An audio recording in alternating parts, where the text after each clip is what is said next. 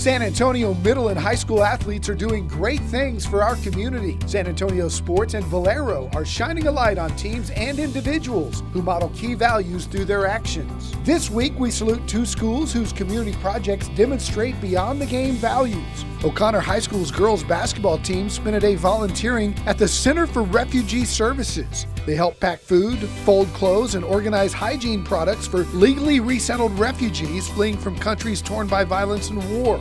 Members of the Southwest girls basketball team collaborated with Habitat for Humanity to cut and install siding on a house for a family in need to call home. These athletes demonstrated the beyond the game values of integrity, respect, teamwork, excellence, and community service. San Antonio Sports and Valero salute high school and middle school coaches who inspire their athletes to serve others. Parents, teachers, and coaches can nominate teams and individuals that go beyond the game. Visit sanantoniosports.org.